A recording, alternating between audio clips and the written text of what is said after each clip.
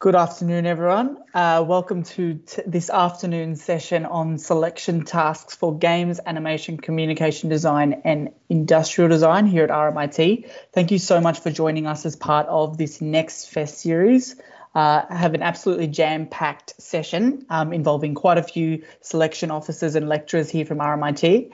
But first and foremost, I'd like to introduce myself. So I, my name is Daniel, and I work uh, as part of the marketing and student recruitment team here at RMIT University, um, and I'll be the MC for the session. So, like I said, quite a few um, speakers as part of it, and they'll all provide tips and tricks um, as well as advice for preparing your selection tasks, folios, um, as well as interviews as part of our selection process into our design programs. I'd like to start off the session by acknowledging the people of the Woiwurrung and Boonwurrung language groups of the Eastern Kulin Nation, on whose unceded lands we conduct the business of the university. RMIT respectfully acknowledges their, the ancestors and elders past and present, um, acknowledges the traditional custodians and ancestors of the lands and waters across Australia where we conduct our business.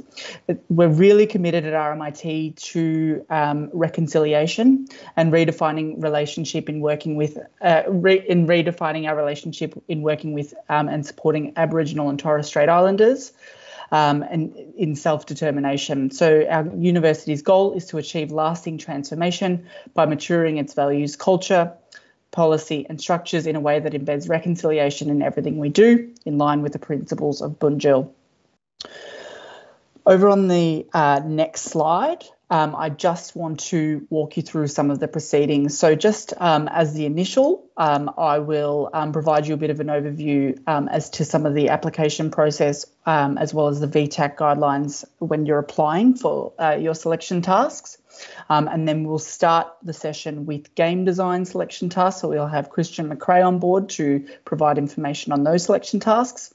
And then we'll go animation with Dr. Gina Moore, industrial design with Dr. Judith Glover um, and then communication design with David Cutter. So just noting also that our live chat is open. So if you have questions throughout the proceedings, we've got a whole team on board. So everyone from our admissions teams to the um, our representatives from the School of Design on board to help you tonight. And so ask those questions throughout.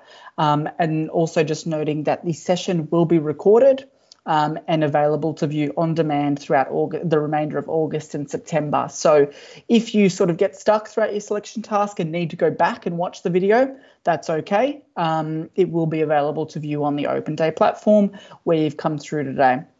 Also, just want to make mention that there will be more sessions with the School of Design um, throughout Open Day. So we've got on Sunday, the 29th, so this coming Sunday, um, there are design sessions as well. So um, if you're wanting more information on the programs, that's a really good opportunity for you to connect with program managers and hear more in depth about the programs. Whereas tonight we'll be touching on the selection task and the actual application um, section or component of each of the programs. Moving on to the next slide, so just some of the important dates which you may or may not know. So, um, in terms of the VTAC timely application period, that's now open. It opened on the 2nd of August. So, Year 12s now have the opportunity to go in there and put in their preferences, and these must close on the 30th of September at 5 pm. So, really, really important that um, you lock in those preferences by that date. Um, season scholarship applications close on the 8th of October, so really important to note this down as well. Um, if you're applying for special consideration or a scholarship, or you're a part of one of our SNAP schools, really important to note down that date too, because you need to submit that application by that date. There won't be any extensions through VTAC. There's the ATAR release date as well, so that's on the 16th of December, and then there's a change of preference period. So, um, should you want to have a play around with your preferences, that change of preference period is your time to sort of go in there, make sure that your preferences are in order. You've got pathways in there as well, um, because the first round of offers will be on the 14th of January. So, if you're in year 12 this year, that's when you'll receive that offer into the first program as part of your eight preferences that you're eligible for entry into. On the next slide, um, I just wanted to sort of provide a bit of an overview as to the undergraduate course offerings in our, within our School of Design. So we've got our Bachelor of Design Animation and Interactive Media, the Bachelor of Design Communication Design, Bachelor of Design Games, and then the Bachelor of Industrial Design Honours. And we've listed out the um, the VTAC codes there as well. Um, and just noting that the, there's double degrees with engineering through industrial design, um, and they will have separate VTAC codes. The Bachelor of Design with Digital Media, there's no presentation on that pro- specific program this evening um, because they don't actually have a selection task for entry. They look at um, ATAR as well as prerequisites. So if you're interested in that program, um, have a look at that course on our program page, but also come along to Open Day on Sunday because there's a digital design session on offer. Um, and we'll sort of provide more information um, about that sort of later in the program. But um, I just wanted to flag that that program is also on offer within the School of Design. Um, a really good opportunity also tonight to just touch on pathways really quickly. So, um, should you um, be looking for pathways into our design programs, RMIT has a really good tool um, and the links there pathways.rmit.edu.au um, which provide um, streamlined sort of admissions processes for students looking to get into our design program. So those listed on the screen actually provide sort of clear cut pathways to our students into design programs. And when you go into that uh, that onto that pathways webpage, you can type in the course that you want to go into and it will list the best pathway for you as well as um, the amount of years total it will take for you to complete so um, if you haven't already and you're starting to put in your vtac applications um, and your preferences and you're not sure on the best pathway our tool is uh, sort of uh, the, the best place to start because it gives you a really clear cut approach as to um, the best option for you moving forward into that dream program. Um, I also just wanted to um, flag uh, over on the next slide some of the selection task closing dates. So this is for the programs listed uh, and presenting as part of the session tonight. Um, and that, so animation and interactive media, communication design, games, and then industrial design. I do want to flag that other programs that RMIT, so say for example architecture, do have different closing dates. So please um, if you're interested in a range of programs at RMIT, please also look at um, the selection cl- task closing dates because that's really, really important. Um, but for the programs listed to uh, presenting tonight, the um, closing date for that January offer round and to be considered is the 19th of November. Um, and you'll see there that um, late submissions are not accepted for animation and interactive media and communication design. Um, but and then for games and industrial design, they may continue to accept um, selection tasks past that date, but just noting that um, that is until um, I guess places fill in within the program. So best bet is to always um, submit before that 19th of November deadline. Um, and if you need any advice on your selection task, whether that's uploading or anything along those lines, um, the friendly team at the design at rmit.edu.au, um, the School of Design email that listed there, um, will be able to provide that type of advice with submission, or if you're having any questions on how to submit, where to submit, whatever it might be, um, the team are on board to assist. Um, but um, without further ado, I'd like to pass it over to Christian McCrea, who um, works within our game design area, to present on selection tasks within um, game design. Over to you, Christian. Thank you so much. Uh, thank you very much, Daniel, and uh, welcome again to everyone. Uh, thank you very much for joining us uh, online, uh, whether it's the afternoon, the evening, uh, or the morning if you're joining us from somewhere else. Um, it's my privilege to talk to you about the degree that I teach into, which is the Bachelor of Games uh, degree. So um, I want to just uh, emphasize that this uh, degree that is a creative culture degree and one in which students will work both uh, as individuals and as uh, and in teams. And we do that in a very unique way online, being games, and I'll talk about that at a couple of points. Uh, next slide, please.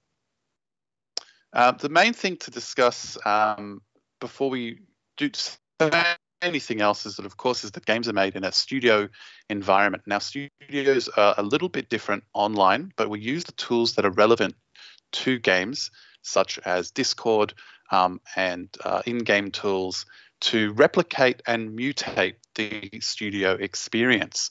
So, where possible, we are, despite COVID, largely uninterrupted in our process because, of course, we're games. So, we, we, were, we have that advantage. But um, the, other, the other thing that makes that possible is that we are a multidisciplinary area. Games need multiple types of students. We need uh, multiple types of expertise to make games. So we need to train multiple types of students to make great video games. And that's part of our journey um, together. Next slide, please.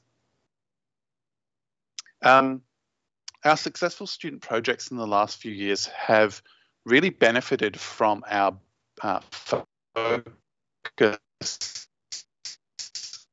um, on art, the strengths of the degree, and one of the strengths of the university. We are an art and design university with a legacy in art and design production that is second to none in Australia. Um, and we really use that and lean into that to focus on game art style as part of the um, background for students. And some of the projects that have gone on to be uh, very successful, um, both uh, commercially uh, or creatively and uh, in the public eye, include um, game series like Frog Detective, which starts um, in one of our studios, and Paperbark. Um, and we've had lots and lots of student successes um, as independent game creators and uh, as as go, going on to work um, in international, interstate, and local industry as well. So now that we've gone the basics, let's talk about selection. Uh, next slide, please. Um, like uh, any other, there are some basic requirements uh, to join us at RMIT, um, a study score of at least uh, at least 30 um, or equivalent. Um, the main thing is that we have a folio entry, and this is a very general and relaxed folio entry, and I'll explain this in some detail. Um, there is a brief statement as well, again, which I'll talk about. Once we receive these folios, um, some applicants will be interviewed and some applicants will be offered a place straight away. That's not to say that the best get in straight away. In fact, we love interviewing students because we love to meet students, ask what they want to make, um, and uh, we take the opportunity to interview and talk to as many students as possible because that's one of the best parts of the process finding out what games you like, what you want to make. Um, and that really, really helps us to understand what mix of students we'll be able to pull together. Uh, next slide, please. So um, the folios that we really look for are three or four pages in a PDF, and we try to get a wide range of students to apply. Many students will concentrate on visual art and illustration, put a few of their drawings or artwork together on a three page PDF. Some students will give us some fiction or nonfiction writing, some personal creative projects. Um, they might do their um, they might do their Viscom uh, folio and represent that for a few pages. And of course, if they're already comfortable, they'll be making game design diagrams or designs in a appropriate software suite or on paper. And if they've um, made any mods or games uh, or levels or anything like that, then then of course they're free to send us a link to something uh, which we can have a quick look at as well. Uh, next slide, please. So the two aspects uh, that a student needs to uh, pull together are a very quick personal statement, and this will describe your reasons for applying. And of course, we expect lots of I've been playing games since I was a kid, of course. Um, but what this can really, really do is explain what the work you have submitted can do for you and why, why you're you know why you're proud of it and what journey you're on rather than sort of uh, you know groveling saying please let me in. It's much more interesting for us for you to be confident in yourself and say what sort of artist or designer you would like to be. So we're very keen to read those statements and we do take them very seriously. Um, say perhaps if you your work you might have uh, say studied in a school which didn't have art support but you still submitted art and if you say so in your statement, we take that very seriously and we will give you an interview to meet you and understand why you're so committed uh, despite that. So that's the sort of thing. So it's very supportive and, uh, and very reflective of our attitude. Now, for the folio itself, like I said, any creative work from your previous studies or personal projects, any style or topic, sculpture, film, photography, animation, drawing, whatever it is, because games is not normal. Games requires that multidiscipline multidiscipline approach. We need all of your disciplines to bring them together. However, the one thing we do need you to bring together is the PDF format so that we can look at your folios very, very quickly and link us uh, as best as possible to any online work you want to. Um, and of course, uh, if you have any work on your on that PDF, just a brief description or title so we can understand um, what you're submitting. Uh, next slide, please. Uh, what we're looking for is a creative focus, basically evidence that you've begun your creative journey in life. Uh, that's as simple as I can put it. Um, a broad frame of reference, and the evidence that a student is drawing on ideas outside of games is fantastic, um, and not just a narrow range of commercial games. So I can tell you straight away if you submit like a few sketches of a cyber ninja with a mask on with a blood soaked blade on a rain slicked mountaintop, I'll say, Thank you very much. I love you. That's wonderful work. Please try again next year. We have enough cyber ninjas, um, as you can imagine. And of course, uh, it, we really, really want to meet students that are community and socially minded because the world of games is changing very, very quickly. Um, and so, any evidence that a student is aware and sensitive of social, cultural, and community dynamics in games. So, not just engaging with the text of a game uh, and playing it, um, but is aware of the discussions and um, elements that go around um, the social, cultural dynamics of games. We're a very um, diverse and inclusive community um, at RMIT Games. Uh, more than half of our students uh, identify as women or non binary. So, we have a very different culture than the internet. So we need to make sure that we have a, a sort of welcoming uh, and open community uh, each year that we start. Um, and I think that's my last slide is next. So thank you very much. I will go and read the chat and uh, find out if there's any questions. And if you have any, that would be great. I might um, throw a couple at you, Christian, if that's okay. Do you have any indication as to the, the size of the co- uh, you know the the amount of um, students we let in for game design? I know it's quite competitive. It is. It's very very competitive. Um, we look to produce uh, a cohort of about four classrooms, so we're looking at about sort of 80 to 90 each year, um, and we're looking to produce. Um, depending on the balance of those students, we might take a lot of artists, some writers, some designers, a couple of programmers, um, and and see what the mix is. But I would say about 80 or 90. Great, thank you. And just one question on equipment used as part of the program. So, is there specific software that students should have, uh, or you know, hardware, whatever it might be? A, a, great question, and one that we get every every year, and it gets easier and easier to answer now that we're online. Um, the best thing you can do is make the switch before we do towards free, cheap software. So moving off Adobe um, workflows into free alternatives such as Blender and um, and cheaper alternatives for game engines as well. So when you study with us, we give you access to a bunch of um, game technologies uh, and licenses and, and software licenses that you're going to need but we nothing pushes the envelope in terms of 3D graphics, so you don't need special hardware. If you're an artist, you probably have a digital drawing tablet, um, but if you don't, that would be an investment. And the other investment is to put aside a make a budget with you or your parents for you to buy, play, and understand a wider range of video games. And that is a serious, that's not a joke. It's like have a game budget, play small independent games uh, and pay for them if you don't already. That is the best tool um, that you can get. Everything else in games, the technology level is coming down and down and down all the time. So 3D cards, let the let the Bitcoin people have them. You don't need them. Wonderful. Thank you so much, um, Christian. I know you've just moved house and you're uh, hotspotting off your phone at the minute, so I really appreciate your time this afternoon. The show um, must go on. The show must go on. that's right. Wonderful. Thank you so much. I might pass over to our next speaker. So we have Dr. Gina Moore, who um, is representing animation this afternoon, um, and will walk us through the selection tasks as part of that program. So over to you, Gina. Thank you so much. Great. Thanks, Daniel. Um, do you want to go to the next slide, Tim? I'm basically going to um, read through what is uh, what is required and I'll add any extra information and obviously please feel free to ask questions. So um, in the animation program we we don't look at ATAR scores or anything like that. We we really focus entirely on what we call the selection task and there's basically three parts to it.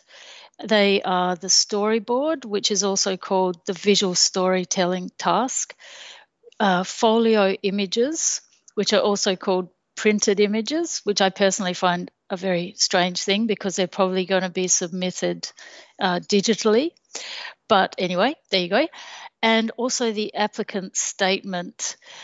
You can include links to other work, including if you've done any animations or anything, you could include them as links in your folio images, but you should know that they will be the last thing we look at, and a lot of the uh, select the selection um, people won't actually look at them. So don't assume that the links will be looked at. It's really the first three items on the bottom of this slide that you can be guaranteed we will look at very carefully. We'll read your statement um, and we'll look at the folio images and the storyboard.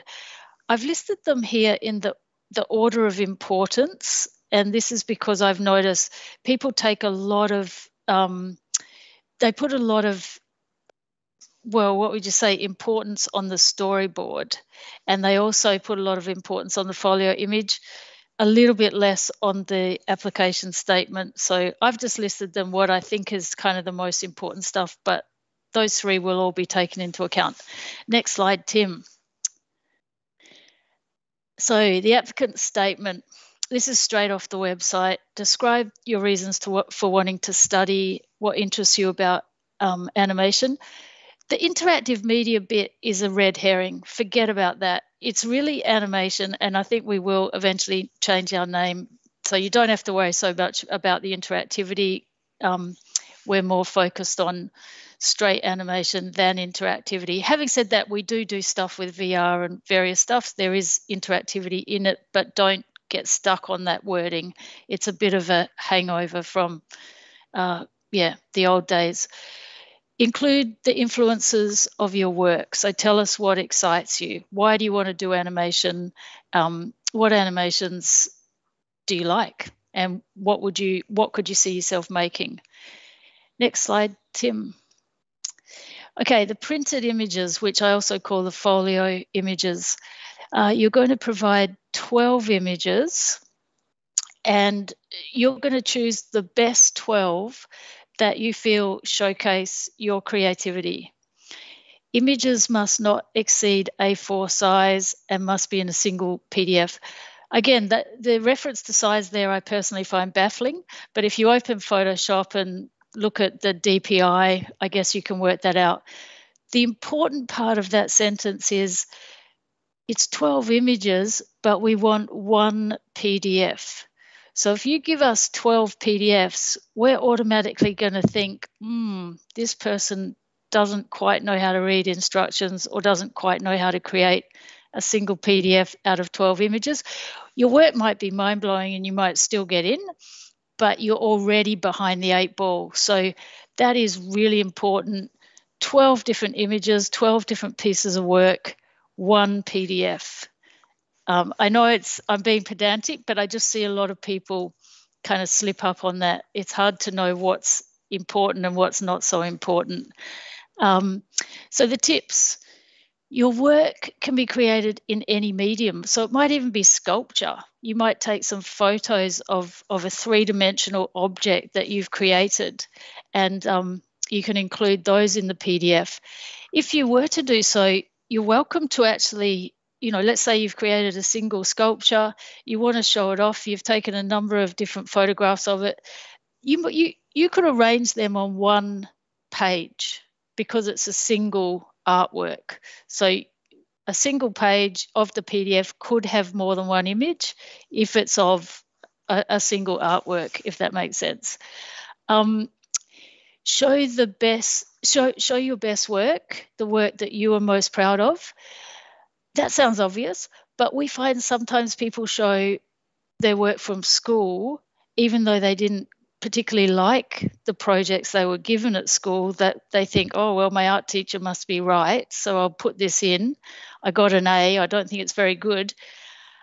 We want to see what you think is good. So put the stuff that you are most proud of, not the stuff your mum's most proud of or your art teacher is most proud of. Show us what what what you like, because that'll give us an indication of um, what motivates you and, and and where you want to go potentially. You don't have to show a wide variety. It says breadth is not necessary. You don't need to show a wide variety of styles or medium. So don't feel like, oh, I've already shown one of my sculptures. I better show, you know, a drawing or something. If you've got 12 amazing sculptures. I keep going on about sculptures tonight, but let's just say pencil drawings. You've got 12 amazing pencil drawings. You, you are welcome to focus on that. You don't have to show us that you've already you you've also done oil painting or something, unless your oil painting is also as beautiful as your pencil drawings. But yeah, we don't we don't think you have to have done lots of different media. We're just happy to see what what you think is best. Uh, this one's important as well. Also show sketches and perhaps work in progress. It doesn't have to be finished, highly polished work. I think this is important because a lot of people have spent, you know, a lot of time on particular works, as I say, that they've done in school, but you might have done stuff at home which is a bit unfinished, but it might show more promise. So feel free to put it in, even if it is unfinished. Perhaps just make a, a comment and tell us that it's unfinished. Show works you have produced for school if you're proud of them, but also consider showing other work even if it's unfinished. Well, that's just saying what I've already said. So cool. What's next, Tim? Okay, so we got some examples. This slide shows two different uh, pages from two different submissions. Obviously, they're a single page out of a um, out of people's uh, out of the submissions of two applicants, and I, I chose these two examples just because they're quite different. So you'll see the applicant on the left has taken a photograph of a um, what looks to be either an oil painting or a gouache or a um, acrylic painting of some kind. I like the way the applicant has also put the name of the painting and they've put the media, so the way that they created it, and it, there's some kind of description there which I can't read at this level. But this is not to say you have to arrange your PDF like this. I'm just giving you some examples of successful applicants. So that's um, that's a good kind of format. And then the one on the right, it looks like a digital uh, character study, and um, yeah, as as they have said, they're original characters. I think it's good to have. It doesn't have to be a long statement, but it's good to have some kind of description of of the images so that we can see what medium it is and this person has stated original characters, which I also think is quite helpful because not being across, you know, all, all the um, everything that's going on, sometimes we don't know if it's fan art, and maybe we, sometimes we might assume it is, but there it's not, or vice versa. So I think it's good to be um, obvious about it. Uh, what's next, Tim? Okay, this is the visual storytelling task, which is, um, oh, I'll just read it from the top. Create a visual storyboard with a sequence of pictures without words or text based on one of the themes. Uh, and then it lists four themes. Tell the story as a comic book strip comic strip style sequence using no more than 12 postcard size images. You may use hand drawn, graphic, collage, or photographic means to tell to create the images. The storyboard must be formatted as a single PDF. Um, so that's straight off the website. So you'll be able to read that on the website. And now I'll give you some tips about it on the next slide. Thanks, Tim. So the assessors deliberately choose themes that are open ended. That's pretty obvious, but some people think, oh, what, what type of bat are they talking about? Well, the point is, it's any type of bat you want. It can be a cricket bat or you know an animal or whatever. So they're they're always going to give you words that are just you know you can interpret in your own way. So don't try to work out what's the right answer. There isn't one. Assessors are interested in your ideas, that is, the story you want to tell. So if you can think of an interesting story which features that um, prompt word, then that is obviously a great thing. Assessors are interested in your ability, ability to, to tell a story using pictures. You can use any medium for this. It already said that photography.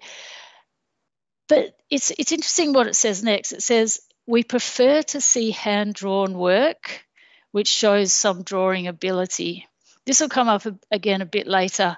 If we get a folio which has got no hand drawing in it, people do get a bit worried. The assessor, the, the assessment panel will um and ah quite a lot, and sometimes the work is just outstanding and you will get in. But if you can draw, do include some hand drawn stuff. So if your storyboard or your visual storytelling task is done with photographs, I suggest you uh, definitely include some drawing in your folio um, and vice versa. I personally think the photographed um, visual storytelling tasks tend not to do quite so well. They'd, it'd have to be really good to get the assessor's attention, I think, rather than something that's actually uh, created by you. Um, assessors are looking for something visually appealing that also communicates a story. It might be cute, funny, serious, simple, complex, or scary. We will appreciate it if it's interesting, intriguing, and appealing. Pretty repetitive, but basically, you get that we want a cool story, but we also want it to be clearly communicated. So if we look at it and we go, wow, this looks great, like it's such a great drawing skill, um, and you know, beautiful camera angles, but I have no idea what's going on. I personally kind of like stuff like that, but most of the assessment panel will go, no, they can't communicate a story, and yeah. So it's got to be really clearly communicated if you want to win everyone over. So it's got to be beautifully done lovely to look at but also communicate a story. It's got to do a lot of things. Next slide tim. Plan ahead this is really for the whole selection t- uh, kit but particularly for the storytelling task. I would try a number of different um, ideas. And don't don't think oh yeah i've got an idea so i know what i'm going to do. I'll just do it you know on the last day. Have an idea rough it out and then show it to people and see if it works and see if you can improve on it. Starting early and iterating and getting advice from lots of different people is going to give you a much better outcome because don't forget the the assessment panel the people who will assess your folio they're quite diverse. So, one person might get the joke straight away, but you you you really need to target a range of people. So if you can show your work to lots of different people and see if they all get it, not just your best friend because they they probably think like you do, but also show it to your mum or your grandma or your next door neighbor. Um, I just think if yeah, you've got a really good chance of, of winning over the whole panel. And don't use text. Because if you do, even just like the label on something, I mean, it's not entirely against the rules, but people, the, the, the assessors really want to see if you can tell a story just using pictures. So if you can avoid words, then that's going to be a really good thing. And before you finalize it, test your ideas on someone else. I've, I've already said that, so that's good. Um, if they don't understand what's going on, don't think, oh, well, they're stupid. Think, oh, how could I make it clear, you know, cl- clearer? So take on that advice.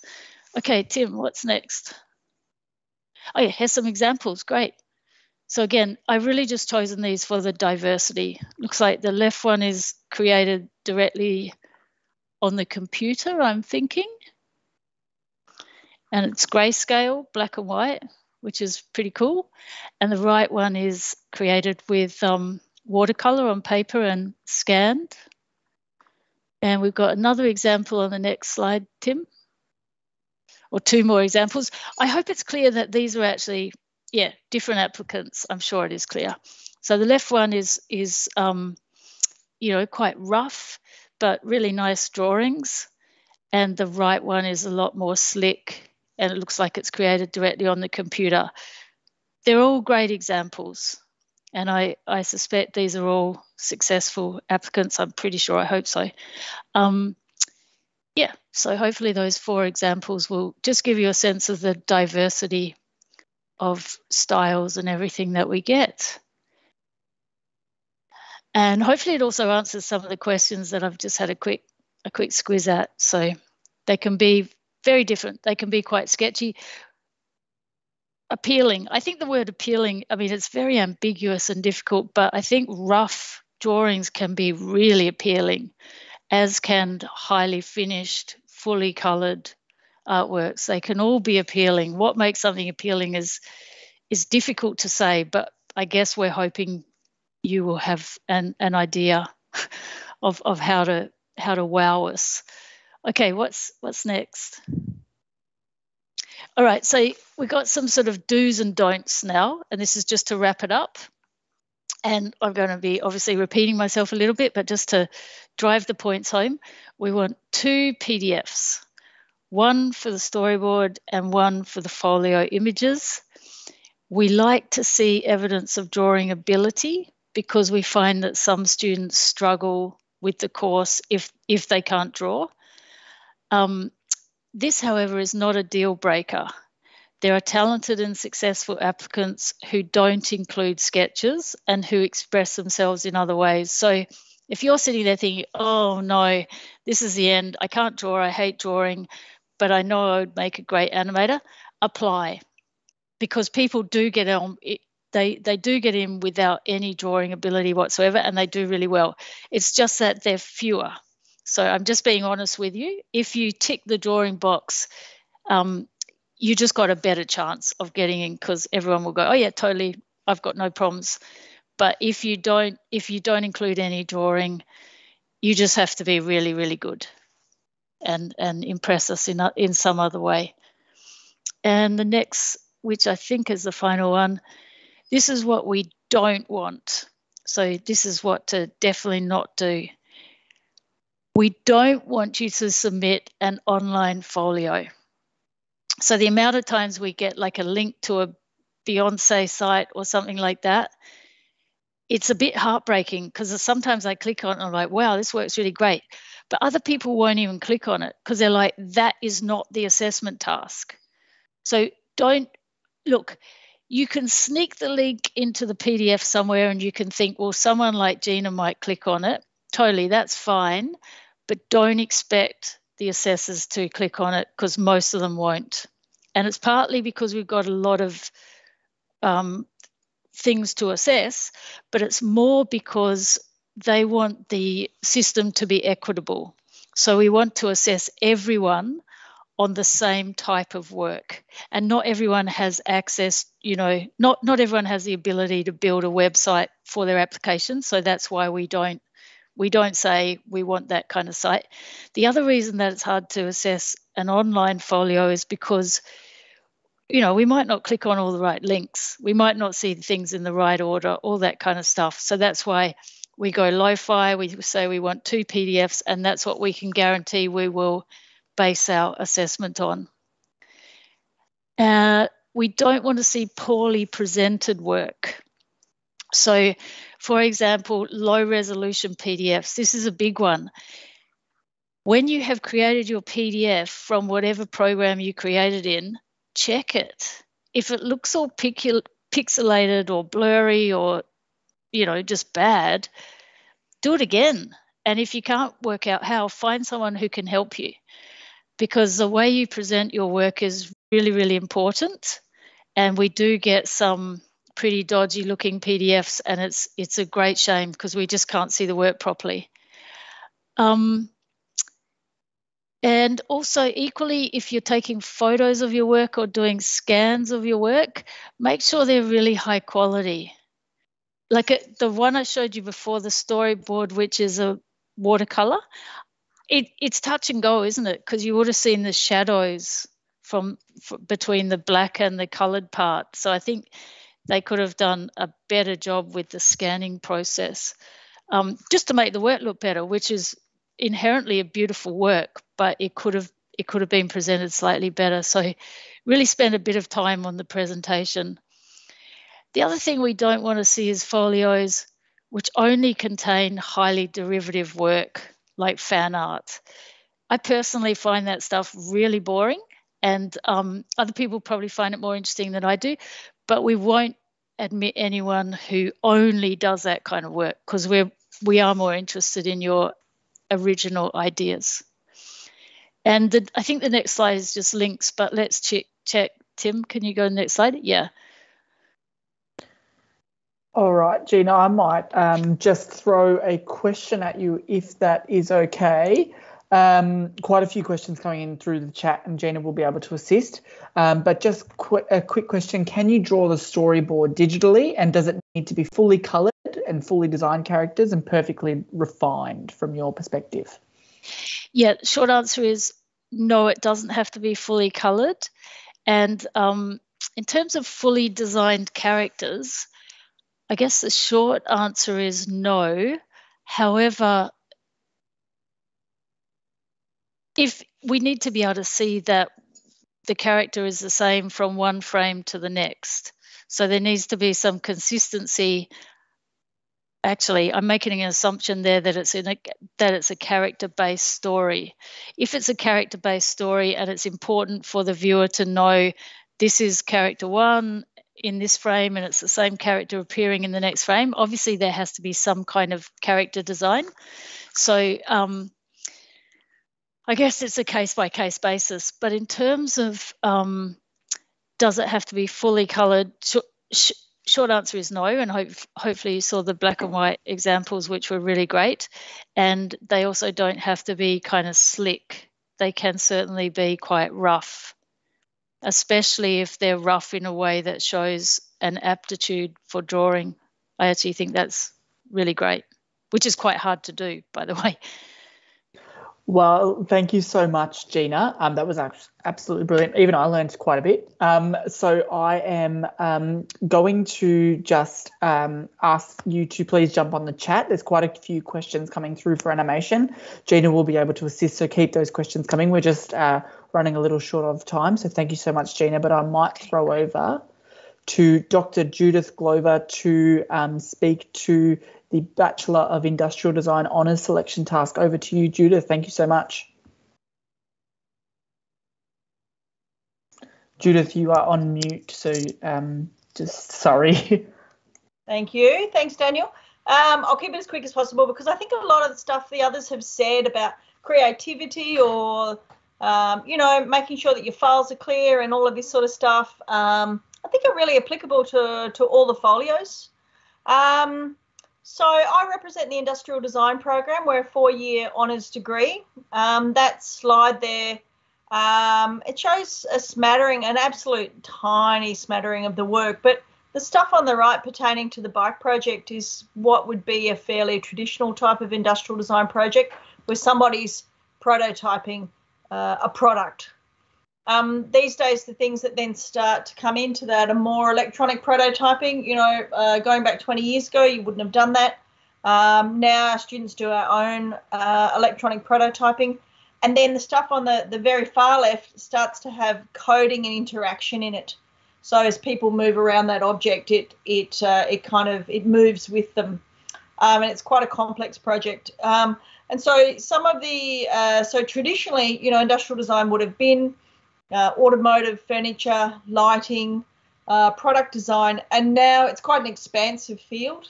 Um, and we do things which are even quite dematerialized, which is service design, um, which is about designing services. And our students are really, really good at those projects because they have a lot of knowledge around how people um, and objects and technology interact. So it's not just about drawing flowcharts of this moves here and all of that sort of stuff It's actually a really good tacit and innate knowledge of all of that stuff, uh, learned through uh, making and prototyping skills. Uh, next slide, Tim. Thank you. Um, the ATAR looks reasonably low, uh, 54, but that's just a sort of a benchmark um, which lines it up with the pathways courses coming in. Probably uh, three quarters of our course people are sitting at 70 and above, and then you know a good third of our course people are in that 80 or 90 bracket. Um, we have about uh, 35% mixture of uh, girls, 35 40% girls, um, and the rest and the rest. Uh, uh I was going to say male students, but of course there is that uh, in between. So, um, uh, but just to say that it traditionally was probably a male-dominated project, but we're, we we've been sitting at that sort of non-male kind of 35, 40 percent um, for quite a while now, for decades now, um, and producing a lot of um, other graduates than males. Um, getting myself tied up in knots here. Um, we do have some excellent uh, pathways courses uh, to come into industrial design, and that is the um, associate degree of furniture and also the uh, diploma of product design. The thing to look out for there in those prerequisites is the English, and this applies to all the other programs too. Um, RMIT has a kind of a, a, sort of a line in the sand for English um, in that uh, around that 30 mark. Um, and if you don't get it, then you're not going to get into any of the degree courses. So if you're sitting there in New Zealand, be very aware that you actually need to do English um, or anywhere else you're coming from anywhere else. Um, uh, but having said that, if you don't make that, then you can go into some of these fantastic pathways courses and segue across, and you'll get credit for that. Um, thank you, Tim. Next slide. Okay, so the applicant statement, very similar to the others. We want you to just be authentic. So tell us about yourself. Um, we generally have two types of students, which you'll see in our folios and selection stuff, which is your high school student or somebody around that age. Um, and then you've got a mature age student that's gone off and done a bunch of stuff, maybe or maybe not related to design. So we're asking you to tell us your motivations. Why do you want to come and do ID? What do you like about ID? Um, you know, things like around sustainability, that sort of stuff. We have a lot of sustainability embedded in our course. Um, our first year studios, for instance, you do user centered design and you do sustainable design. Um, and that flows all the way through the course. And what we're trying to say to students is people and planet matter. Um, so we don't just necessarily want to know, you know, it's great if you can say, look, these are my favorite designers or whatever, or I really like, I'm really interested in sustainable design, I'm really interested in new biomaterials, that sort of stuff. But I'm quite happy for you to tell us about things that you do outside of work or school, particularly creative stuff. You know, if you do photography um, or cooking or music, or you like DJing or going to festivals or making puppetry, whatever, um, tell us if you do volunteering, um, tell us. Look, I'm quite happy. I've been the selection officer for years, and I'm quite happy if people say I work at the supermarket. You know, I work at Woolies. Like to me, if you're a 15 year old, 16 year old, and you're working at Woolies, that just shows you've got a bit of drive. So um, just tell us about yourself and be authentic. Um, spelling and grammar also matter. So um, do get it checked. Put it into go and put it back into Word and put it through spell check and grammar check and make sure um, that it's correct um, before you submit it. Thanks, Tim. Next slide. So as I said, two options um, on the selection tasks. Um, one is if you're coming from high school, so they're more like design projects, discrete design pro projects, or the other is work life um, experience. Um, I'll talk about the tips when we go to the different options. Tim, do you want to flip to the next slide? Um, so the design projects, and this is more for uh, people who are coming from high school, um, who have been sitting there doing design and tech or viscom, those sort of subjects, and you're doing uh, complete projects. Or say you're coming from another um, design discipline, you might be segueing over from architecture, or you might have gone and done something like uh, set design at VCA, and then you you actually got halfway through and you're like, don't want to do that anymore. I want to go and do industrial design. Um, then you've actually got whole projects that you can show. You can show them from um, inception what was the brief or what was the concept or what was the inspiration um, through to here's my here's my conceptual work here's my design development here's me trying to model make or make stuff and then uh, and then here's the outcome um, next slide tim so then work or life experience so this is for mature age students um, and we get quite a few and we really like them because as some of the other programs were saying before we like the mix. We don't just want everybody to be out of high school. Um, not that there's anything wrong with high school students, but it's good to have a diversity. It's good to have a diversity of types of people, and it's good to have a diversity of life experience.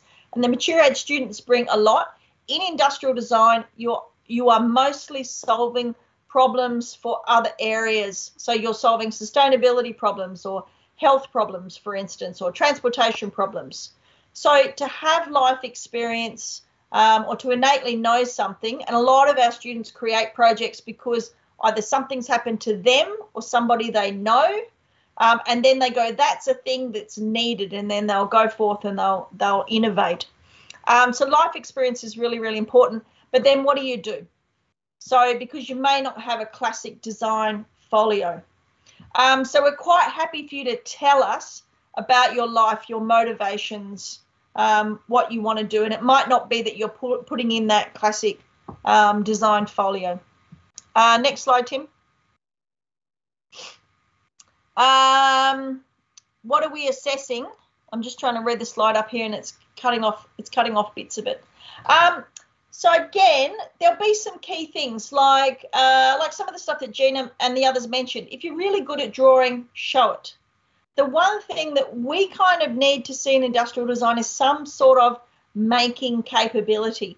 So, for instance, we'll get a folio from high school. Somebody's done Viscom, um, and they've done a lot of. Uh, they might be able to show drawing and Illustrator, and oh, I can do a brand, or I can do um, um, I can do a typography or whatever. But then they they don't show how any of that can be applied to the 3D, even if it's taken and put on some sort of packaging design. Over here, I've done a T brand, and then they actually make up the packaging. We really, really crave to see something three dimensional. Um, it's really hard for us to judge um, if you're not showing something three dimensional. And so there's other ways of doing that. You can do things in Google SketchUp. Um, there's plenty of free programs out there. Um, and again, if you've actually done some things in CAD, um, InDesign and Tech, that sort of stuff, um, please put that in. If you know any Adobe Suite, you're going to be using plenty of that sort of stuff. Uh, put that in. Next slide. Thanks, Tim.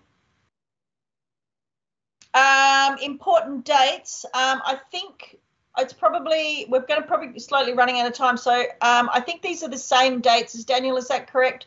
These are all the same dates correct, for everybody yeah. else. Correct. Um, yes. So there's probably no point me uh, particularly running through that. So it might be better if I do. Um, we move along, and I, if you need me to do any um, Q and A, I think that's Thanks. the last slide, isn't it, Tim? Uh, there's an FAQ as well.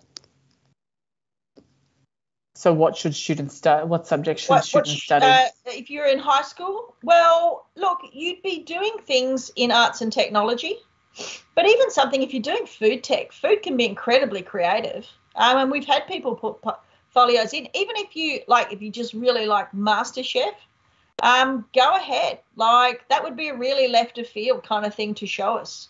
Um, so generally, you're doing something like Viscom or Design and Tech. Um, uh, but look, having said that, um, I let in a student uh, mid semester who was coming from the United States.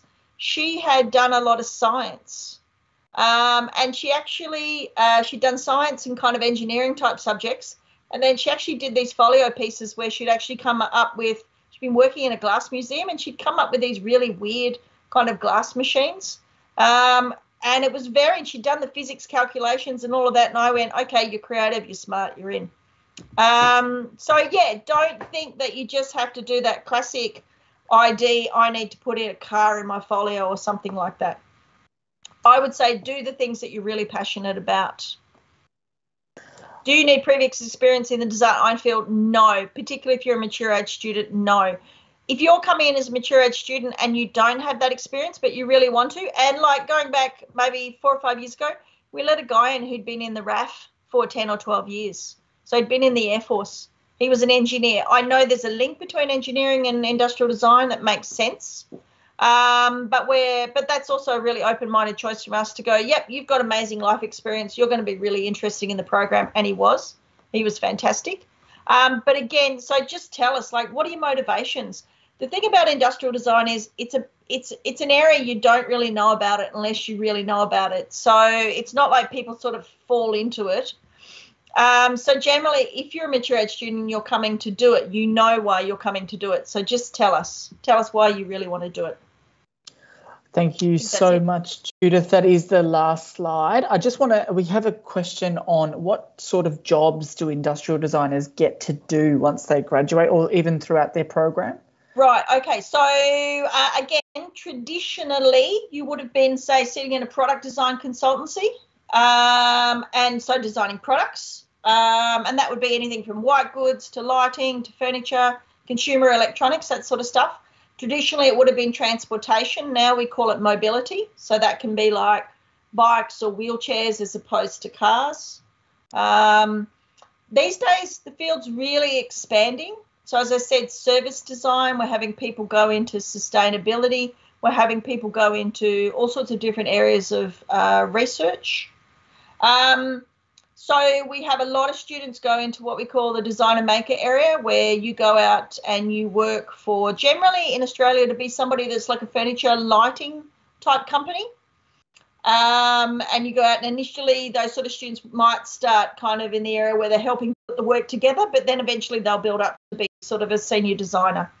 Um, so again, it's everything from your your sort of your making, your product design, and these days uh, with uh, the advancements of digital technology, there's this idea that we've dematerialized, and we haven't dematerialized. We're surrounded by more stuff than ever. But you might be in a multidisciplinary uh, consultancy where they'll have a service design team, um, they'll have a coding team, and you, as the industrial designer, might be the only person there that knows how to make anything.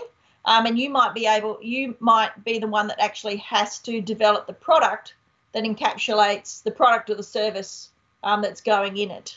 Um, and you might have to do the electronic prototyping or organize for that to be done. And that's where that sort of we're, we're going into there. I think um, some of the other uh, presenters talked about it before. We're going into these diverse multidisciplinary teams. You might be sitting there from somebody who's gone through animation or games design as well, um, or service design uh, in the comms, de- comms degree. Thank you so much, Judith. That's all we have time for, but there is a ton of questions coming through yeah. via the chat. So Judith will be online to answer some of those via text. So um, Judith will absolutely stick around Thanks, and just. Everybody. No worries. Thank you so much. And just also, if you're wanting to hear more about industrial design um, via the RMIT Open Day platform, we currently have uh, Associate Dean of Industrial Design, Ian Dever, who's presenting um, as part of a panel on career paths that make a, so, a difference through social and environmental change. So, um, if you're interested in industrial design and you want to go ask more questions and hear about more um, breadth as part of that program, that's another session that's on um, running concurrently at the moment as well. Um, but I just want to um, apologies, we have run a little bit over time, uh, but we last but not least, as part of our presenters, is David Cutter from um, the communication design area, who will walk us through the selection task as part of that program. So over to you, David. Thank you so much for waiting. Thank you. Okay, team. Um, now I've got to see how the split screen is working against me as well. Um, so what I'll be work, walking through fairly briefly, I'd say, is the focus on the selection tasks for the Bachelor of Design Communication Design, and let's walk through that. So, Tim, if you could take me to the next slide. Thank you. And I see that that is already cropped off as well. So I just need to obviously walk through the basics. With the tertiary study um, status question, there are basic prerequisites you can see. Um, it's fairly self-evident in terms of what you've got there. So I'll just take us, if we could, Tim, to the next slide. I'll make sure that um, we can paste this well, but that everybody who's in on the session can read as well as possible. I can't see that that slide's actually uh, provided all of its content. Um, could that be maybe refreshed. It's um to the to the audience. It is quite um it's it's the normal size. It might just be on your screen, David. My screen has had most of that actually butchered, so I can't actually read it. Um, so, am I looking at the application requirements? Uh, selection task requirements. Yeah, one, two, three, four. Yes, that's the slide. Okay, one. let's start with number one. So the application requirements. They do include the tertiary study status question. I hope on that on that page because I'm not seeing that drawn properly. Correct. Um, the actual have you successfully completed at least one year? Look, the overview of this, as you can read, it's basically to identify where there's any potential for advanced standing of basically uh, credit that can be applied. Now, anybody who's coming from year 12 from VCE, that's not relevant to, but anybody who's applying to the program that naturally has uh, tertiary studies, this is where there may be an opportunity to pick, pick up some credit points. And that could uh, mean a reduced study load of a first year or, or, first year commencement of the program, and potentially even to uh, second year commencement into the program based on RPL, which is recognition, prior learning, and credits. But let's go past that. If we could change the slide and move forward, because basically that's what I've just covered. We've moved forward, yep. Um, so if we could move forward again by one slide, thank you. All right, so I believe what we're looking at now is the responses to the design statement one and statement two. Um, I wish I could see that that slide has everything that I'm looking at, but can I just confirm that I'm looking at design statement one Correct. and design statement two? Yes. Thank you. All right. Interesting that com design gets sliced. So with the first one, design statement one, describe how your interests and experience will contribute to the RMIT communication design community. Interests and experience can include any employment, voluntary work, etc. Um, I will say on this point, I know that all of the presenters have had very similar scenarios in some respects of the fact that we're looking from all applicants about information about yourselves as an applicant. Um, part of it is naturally to provide an insight about you for us to see how suitable as a candidate you can be for the program. And the fact that your interest and experience uh, would actually walk into the scenario of blending with everybody else. And like all, all the other programs, we do really seek a diverse uh, cohort of students. And we're very interested to see literally what you can bring into the table. It would be about conversations, it would be about projects, it would be about the interweaving of discussions of all of what would be part of a full um, journey experience for all of you as a natural part of it. And so that's a really important part. So the interest that we have is the insights. It's important that you read these questions well. I will say for those who are interested in applying for any of these programs, whether it is ComDesign or the others, it's most important you guys make sure that you're providing us with a thoughtful and appropriate response and answer to the questions and don't misread it misreading questions and not providing enough information or providing wrong, wrong information is the perfect way for you to miss out on an offer. I will say that across the board. It's most important that across the board you work that. Now, in com design and communication design, the first word's got to come up. And if you can't communicate correctly, if you can't actually respond to questions correctly, it immediately establishes a reality check that we say, okay, if this person as an applicant can't satisfy the basics, they're not really very much a candidate next to the next person who can. So we need to make sure that we're looking at that. But connectivity towards the program's culture is an important part of for all of us. The actual program prides itself on its studio base that a lot of these programs do, and that establishes a strong sense, strong sense of community and connection. And so all of that, your previous experience is an important part of it. The design statement too, which is about describing an aspect of your local or broader community where design could have a positive impact and how you think this could be achieved. Now, this one's an important one too, because this is where we're asking you to be more outwardly looking and be very much community and more world aware about where design and design language and communication through design is making impacts, has made impacts, and can make impacts.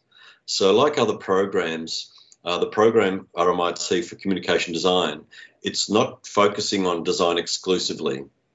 This undergraduate program is much more broad thinking and and diverse. And it's about how thinking related to communication design and broadly, whether it's UI, UX, and it does include considerations like other programs of service design, how these intertwine, and how the broader community does benefit from initiatives and literally design and creative thinking.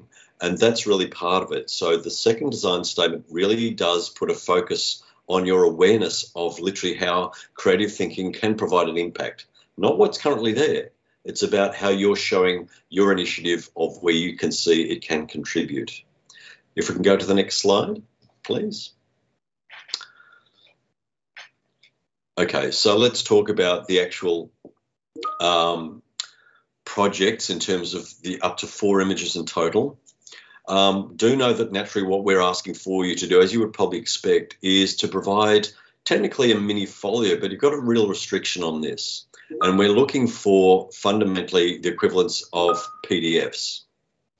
Okay, so in that respect, what we need here from all of you naturally is what you'd expect is a bit of an insight in terms of your creativity. But please know that this is not a technical oriented graphic design program where the merits of your uh, crafting skills are highest in terms of priority. From our point of view, what we want to see from you is like other programs have said, what you're passionate about, what you're really strong about, and what will reflect that best. You will naturally, like other programs have said, you'll get advice from other people, from parents, from family members, teachers, from um, secondary school, etc. And I'd say it's all very nice for them to say that, but what's most important is for you to put your best foot forward and show what is truly your passion and what's strong about you again, I know it's good to take advice from others, but do know that it's a highly competitive program.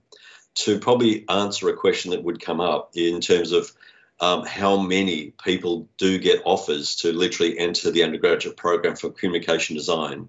Well, the combination of both local students and international students, we're looking around about an entry cohort of 250. Now, that sounds like a lot, but I'd say that's highly competitive, and that's across both the combination of local and international. So back to the point about you putting your best foot forward and showing the work that really shows your your strengths and insights into you.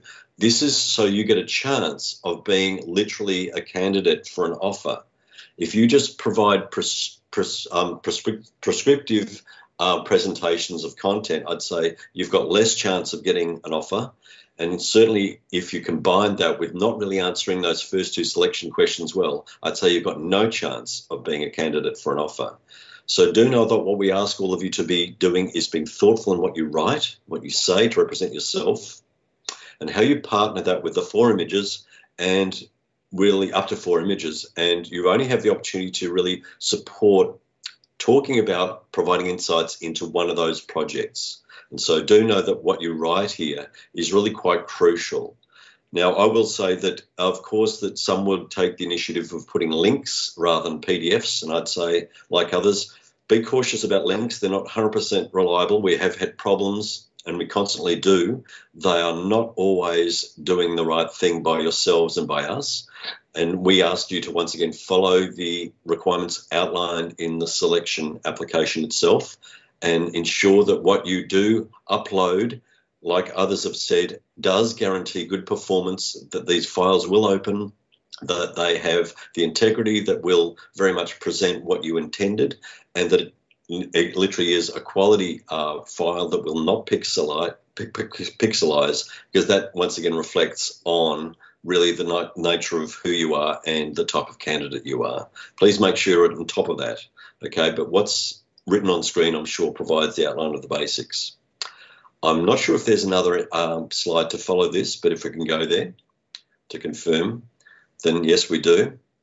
Um, really, what I've probably outlined under, underlines the basics. What I've said underlines the basics of what you can see here. What you do expect is this program has a strong focus on the visual, but this program actually does have a strong focus on creative and um, broad thinking that will intertwine you in the long term, really working across more of a multidiscipline scenario than more exclusively in what was traditionally a design or marketing agency where there's just focused on pure design projects. It's actually much more broad and diverse than that.